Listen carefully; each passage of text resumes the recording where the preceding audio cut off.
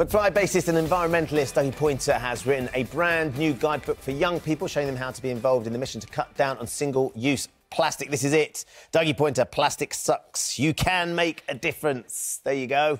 It's um, it's quite a thing, isn't it, Doug? I mean, we've got Greta Thunberg, who is just 16 years old Mm. Yeah, and really teaching us all a lesson, isn't Yeah. she, about climate change? Oh, she's amazing. Is this something that's capturing, capturing the imagination, do you think, of, of younger people in a way that puts the rest of us to shame? Yeah, I think so. And it's actually it's it's people like her that um, like put my mind at, at rest. That I, I really feel like we're in safe hands, and like, kids really do care. I think it's a little bit more um, black and white with kids. If, if something's wrong, then they're just like, well, let's not do it anymore. Yeah.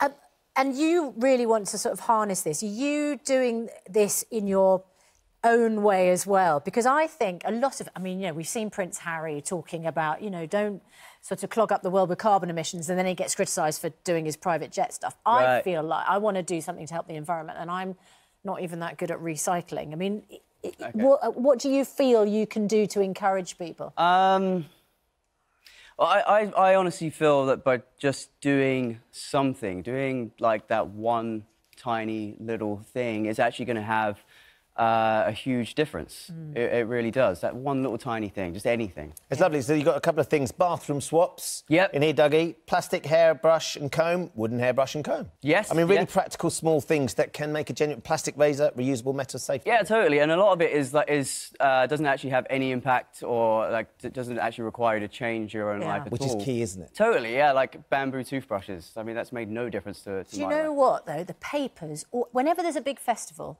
let's, for example, Glastonbury. Yes. The papers always manage to find a picture afterwards of the absolute mess. How many tents get left? Last year was two hundred fifty thousand. so we're just two. Yeah. 50,000. Uh, and I know this year there was uh, a lot less than that. But people just didn't know what.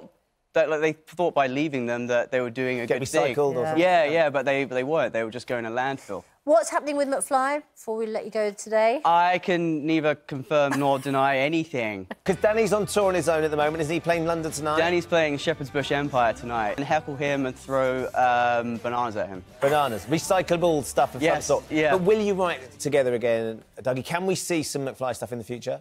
I, I hope so. I mean, why not? There you go. That's all we needed Yeah. to hear. That's, all we needed to hear. everyone's. uh, fantastic campaign. Thanks luck so with the much. book, Thank you very much for having me. Lovely Yeah. to see you. You too.